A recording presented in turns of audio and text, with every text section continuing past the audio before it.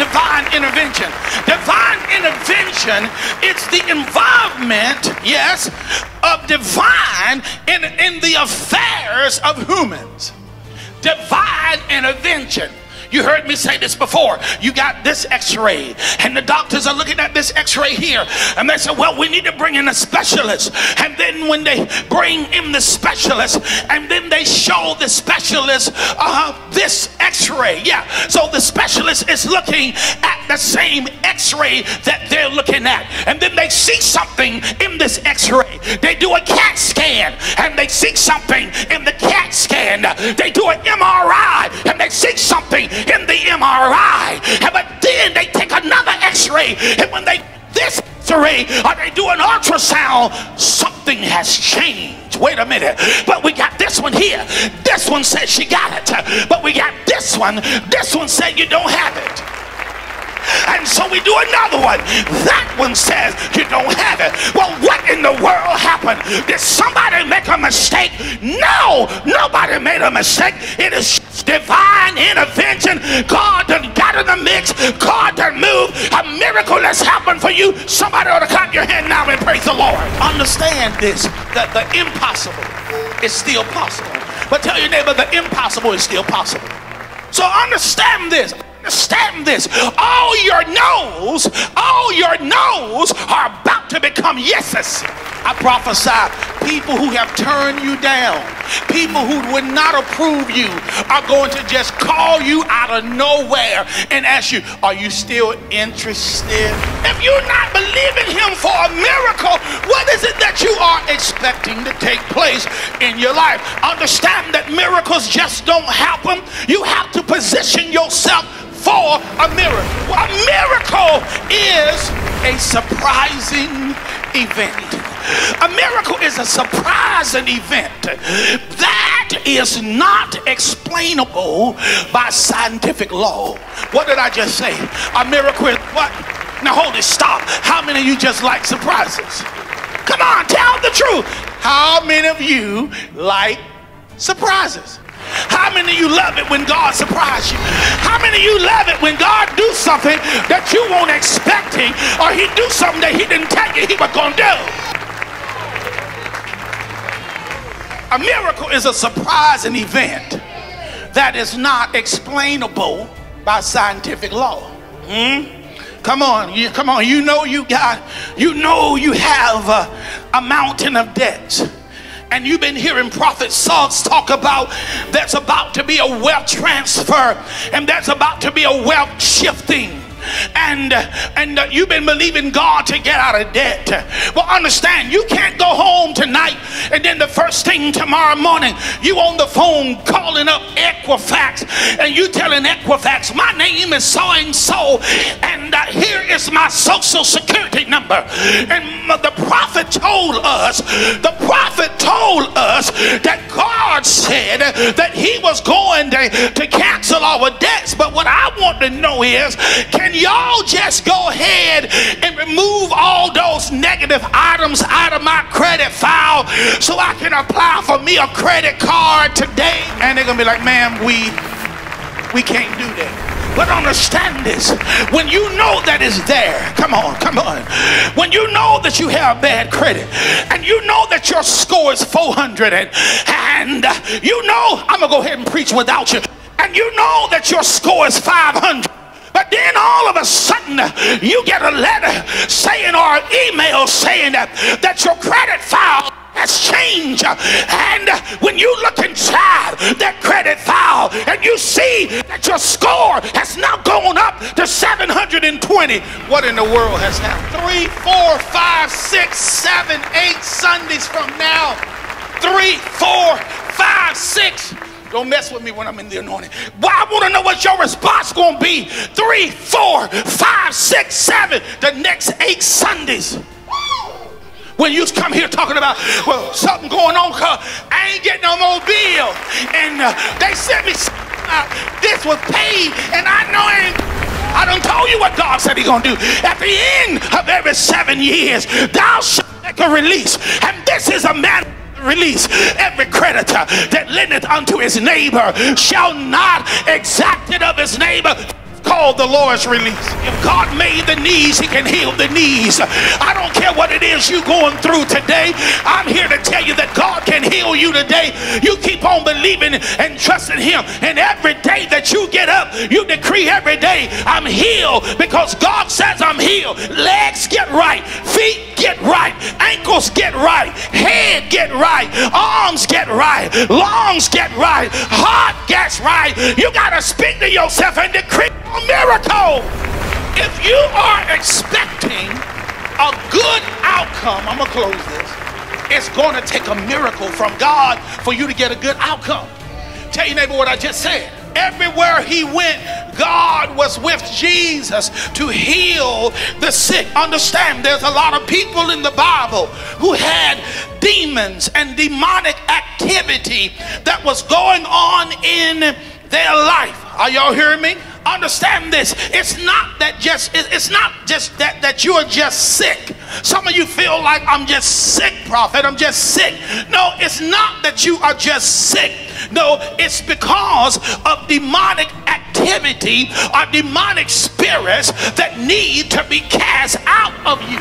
That's why when jesus was dealing with the person daughter who was dumb he said dumb spirit it is the spirit that makes a person dumb. A lot of time we think that we're dealing with the person, we think that we're dealing with the people, but no, we're dealing with demons or we're dealing with demonic activity. It's not the person, it's a demonic spirit. That's why Paul said, For we wrestle not against, can I preach in this church? For we wrestle not against flesh and blood, but against principalities, demonic force powers, demonic force, rulers of darkness, demonic force, spiritual wickedness in high places, demonic. So you got to understand divine intervention. With man, it's impossible. Man's extremity becomes God's opportunity.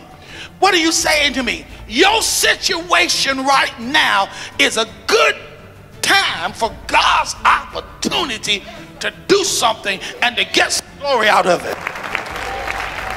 What you saying to me, prophet? You ain't going through what you've been going through for nothing. Something is about to break. Something is about to break in your life. You are about to see the move of God. You are about to see the hand of God. Things are getting ready to get better for you. Somebody believe that. Clap your hand. Matter of fact, jump on your feet and turn around one time. Hurry up, hurry up. Sit down, sit down, sit down. You have to go into every situation knowing I'm going to have divine intervention. It might not be right this minute. It might not be right this second, but I already know I'm going to have divine intervention.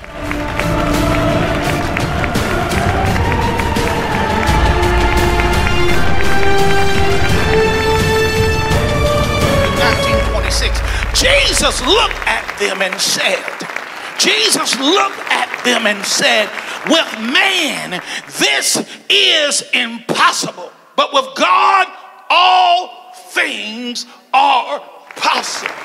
Did y'all hear what I said? With man, this is impossible, but with God, all things are possible.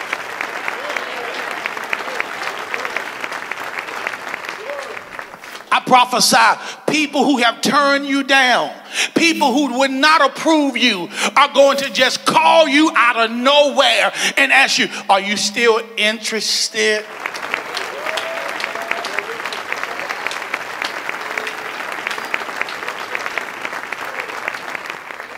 If nobody tried Jamil, you, you go try that too.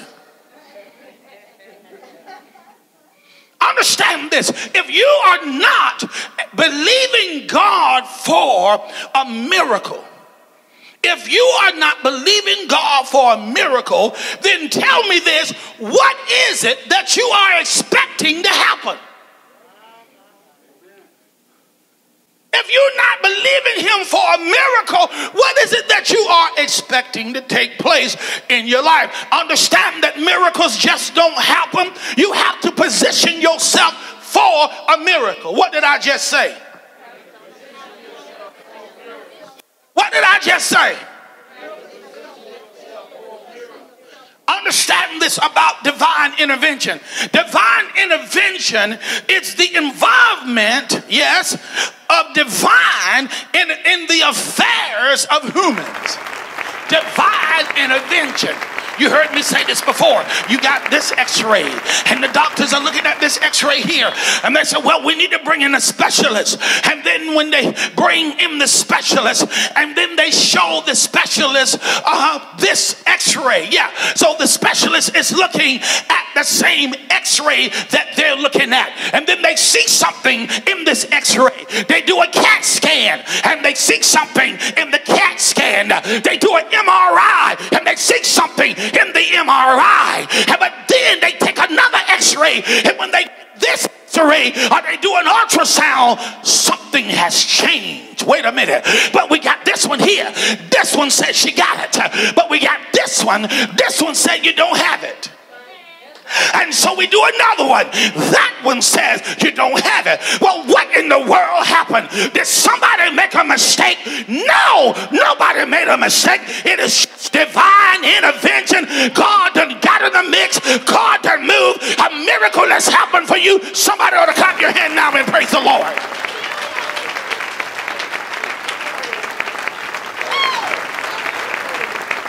A miracle is a surprising event.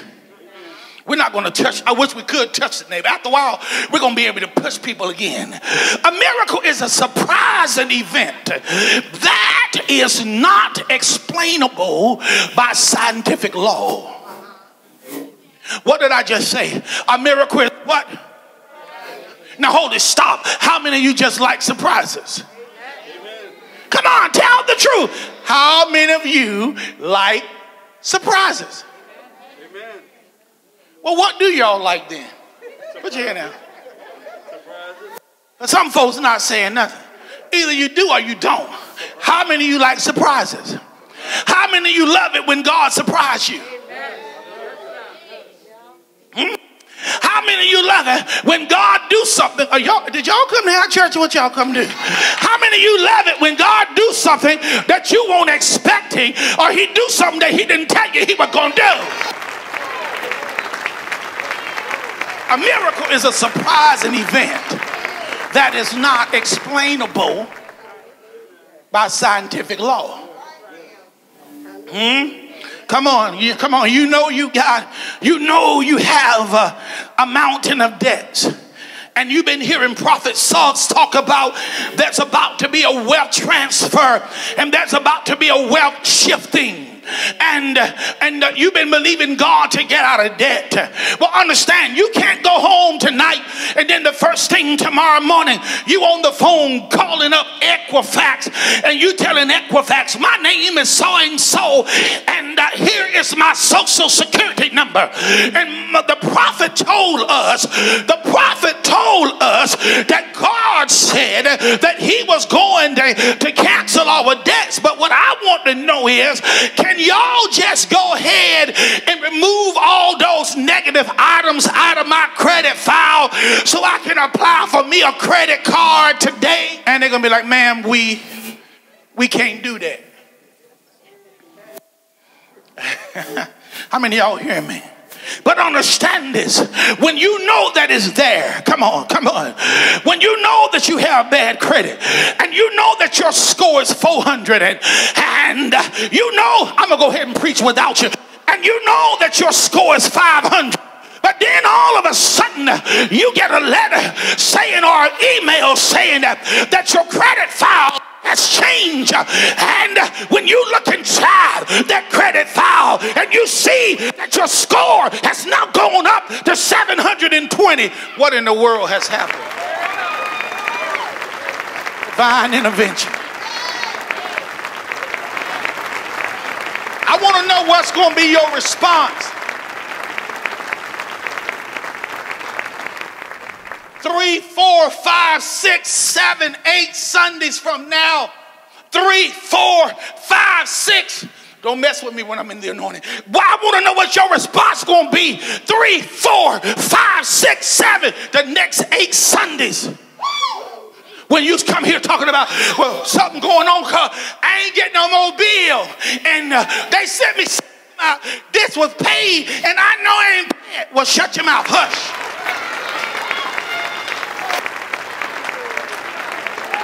Told you what God said He's gonna do. At the end of every seven years, thou shalt make a release. And this is a man release. Every creditor that lendeth unto his neighbor shall not exact it of his neighbor. It's called the Lord's release.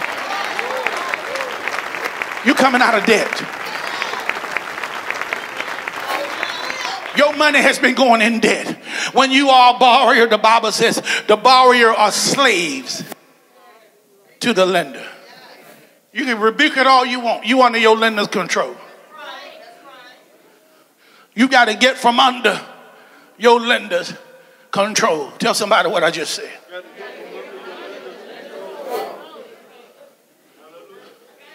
You pay bills before you tithe because you don't understand how God's system works. Understand this until you understand money, God can't give it to you. You stay broke, you're going to struggle all your life until you understand money. Understand that when you do not tither, if you are not a tither, if you do not return the 10% of what God has given you, you cannot handle money. How you talking about, oh, girl, I can, I, I can stand to be a millionaire. You can't handle a dime. You still struggling with a dime. How you gonna handle a million? Stop wasting your money going play the lottery. You ain't hitting. Come on, come on now, Lord. We want to use the Lord to help you do more evil than you, you already been doing. But you have to understand, you can't even tell your family. You can't even tell your friends. You can't even tell your coworkers. Prophet said, the Lord, we're going to get out of debt. They're going to be like, girl, you ain't getting out no debt. Because they do not understand divine intervention. Now, don't sit here and act like God ain't never healed you before. Divine, come on intervention. If God made the knees, He can heal the knees. I don't care what it is you're going through today. I'm here to tell you that God can heal you today. You keep on believing and trusting Him. And every day that you get up, you decree every day, I'm healed because God says I'm healed. Legs get right, feet get right, ankles get right, head get right, arms get right, lungs get right, heart gets right. You got to speak to yourself and decree a miracle. Somebody clap hands in here and praise the Lord.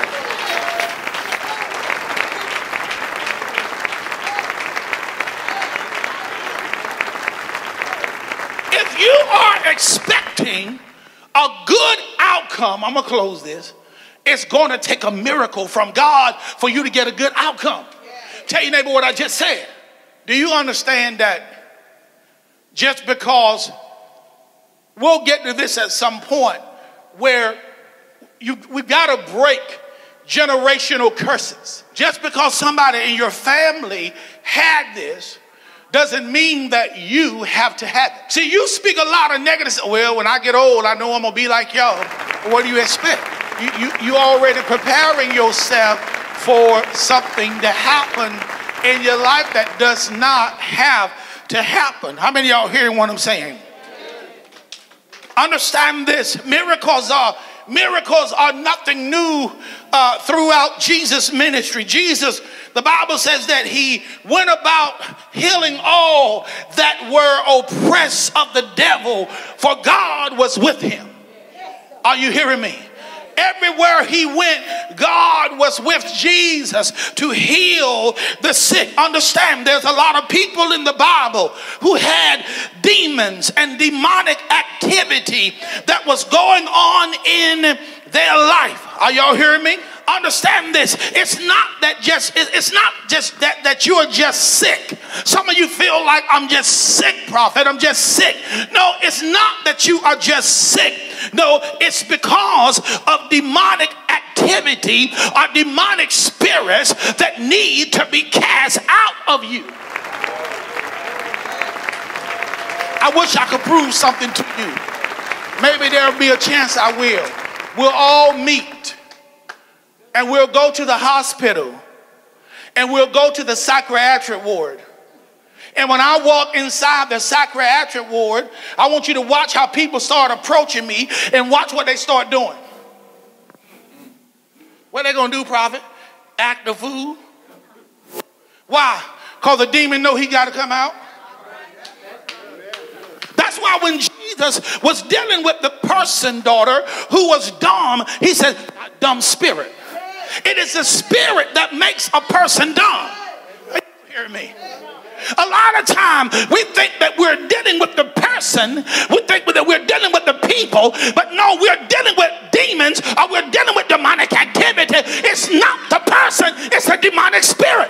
That's why Paul said, For we wrestle not against, can I preach in this church? For we wrestle not against flesh and blood, but against principalities, demonic force powers, demonic force, rulers of darkness, demonic force, spiritual wickedness in high places, demonic. You can't, you can't see the demons, but you can, they will make you feel their impact. You know when something is not right in your atmosphere. You be like, something's not right. I feel a heaviness. I feel a warfare. I feel a tightness. Demonic activity. You can't fight, you, can't fight the devil in the physical. He'll beat you. He'll hit you side the head and you and you be trying to find him. But then he'll hit you side the left side of your head. You can't fight the devil like that. You got to understand enemy, your enemy is spiritual. And so you got to deal with him on a spiritual level. You spiritual. You are spiritual. You were created in the image of God. You are spiritual. You hello, you ain't nothing but a spirit. Hello, spirit. I'm what? You're a spirit. Take the spirit out of the body. God said, okay, you can have the body. Give my spirit. What the body gonna do? Nothing. Understand, you are a spirit. And the spirit lives in the body. Are, are you hearing me? So a lot of time we, we take it personal. We take it personal. You just a liar. You're a liar. You're a liar. No, they have a lying spirit. It is the spirit that makes them lie. So if we cast the lying spirit out of them, they'll start telling the truth. Y'all don't like this kind of preacher. I'm going to stop. So you got to understand divine intervention. With man, it's impossible. Man's extremity becomes God's opportunity. What are you saying to me? Your situation right now is a good time for God's opportunity to do something and to get glory out of it. What you saying to me, prophet? You ain't going through what you've been going through for nothing. Something is about to break. Something is about to break in your life. You are about to see the move of God. You are about to see the hand of God. Things are getting ready to get better for you. Somebody believe that.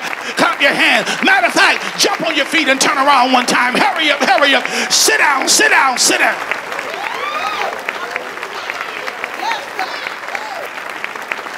It's, with, with man, it's impossible. Those of you who are watching my YouTube on the World Wide Web, Facebook, or wherever you're watching, doctors don't go to school. They don't tell them in medical school that God is going to give you a miracle. They'll talk in medical school, write the prescription, write out the prescription. And you don't know what it says, some scribble mess. What is that? For tightness in the neck, poor muscle. So I'm going to prescribe you some painology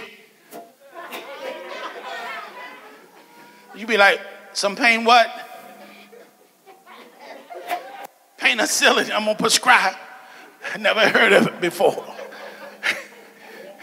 but you take it. That's what they do. They, they're not gonna tell you, brother, um, you, you, you've had divine intervention. Uh, brother, um, God has touched you. Oh, Baba Shata. God done, oop. They're not to do all that. If you hear a doctor say, oh, shout. You, start praising. Glory. They don't do none of that. Um, come back and see me in a month. take this to the receptionist. You have Blue Cross, don't you?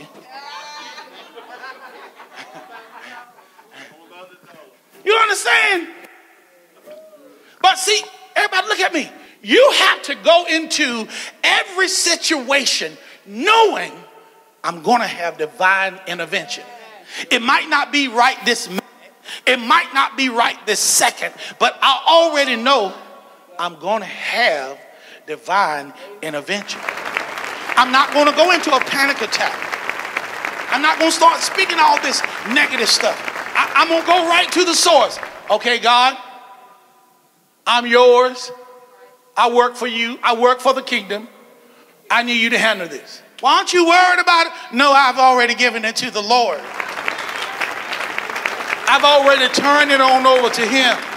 Work it out how you're going to pay your rent. Work it out. All your money is spent. Work it out, baby. Need a new pair of shoes. Uh, work it out, and the light bill is due. Work it out, waiting on the next paycheck. I ain't got no help in here.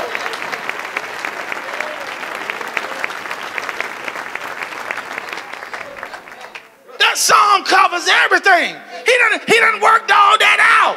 Why you tripping when he done worked all that out? Divine intervention.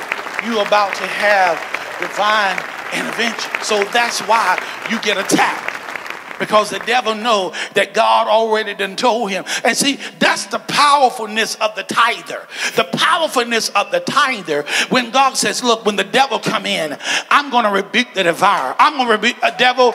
Devil, don't touch David. Devil, do not put your hands on David. David belongs to me. Take your hands off David.